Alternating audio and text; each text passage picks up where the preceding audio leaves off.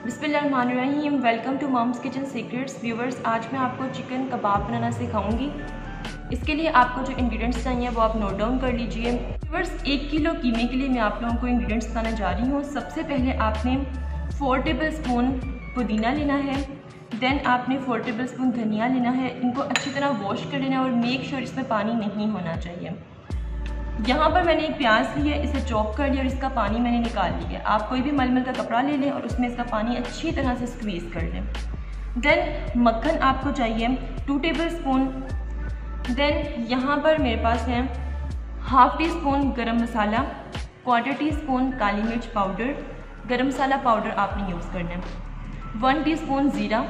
सुरख मिर्च powder one teaspoon और half teaspoon आपने कुटी हुई सुरख मिर्च लेनी है। ये मैंने इकट्ठी करके यहाँ पर रख दी है। देन आपने हाफ़ टी स्पून खुश्क धनिया पाउडर लेना है। चार से पाँच अदद सब्ज़ मिर्चें लेनी है। वन टीस्पून लहसुन का पेस्ट वन टीस्पून अदरक का पेस्ट और ये सबसे इंपॉर्टेंट इंग्रेडिएंट है। ये बाइंडिंग में बहुत काम देगा। ये है जी मीठा सोडा ये आपने थ्री पिंच ऐड करना है।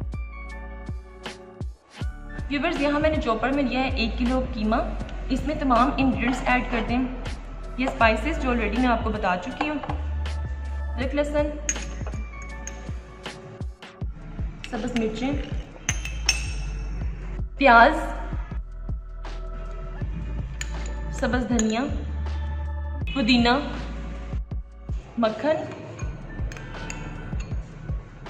मीठा soda salt salt to taste आप ऐड कीजिएगा। इसे चॉप कर लेते हैं। बस ये देखिए, मैंने अच्छी तरह से चॉपर में चॉप कर लिया है। अब हम कबाब बनाना स्टार्ट करते हैं। व्यूवर्स कबाब बनाने के लिए यहाँ पे आपको स्टिक्स चाहिए होंगे। स्टिक्स नहीं है तो आपके पास घर में सीख होगी तो उस पर भी आप बना सकते हैं। इनको मैंने पहले पानी में भिगो के रख दिया था। और ये जो हमने मिक्सचर रेडी किया है अपने कबाब के लिए, इसको आपने तीन घंटे के लिए फ्रिज में लाजमी रखना है। उसके बाद आपने कबाब बनाने शुरू करने हैं। यहाँ पे आपको पानी चाहिए, अब हम कबाब बनाना स्टार्ट करते हैं।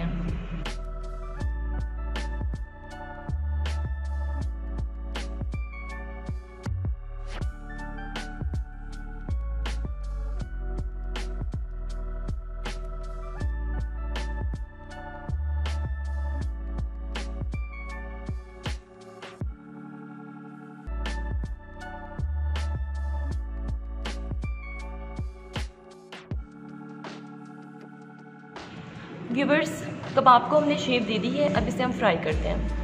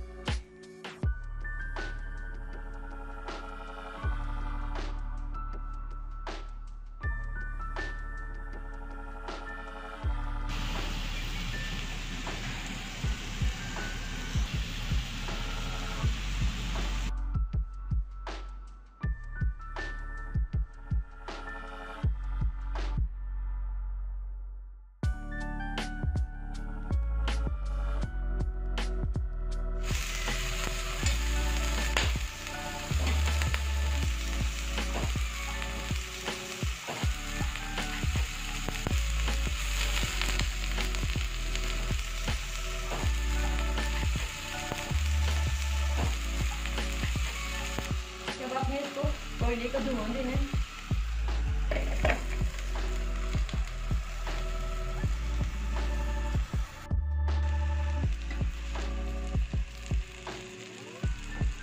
कबाब रेडी है, इसे डिश आउट करते हैं। व्यूवर चिकन सीख कबाब रेडी हैं। आप इसे ज़रूर ट्राई करें कमेंट्स में लाजमी बताएँ। Keep watching Mom's Kitchen Secret stay tuned and अल्लाह हाफिज़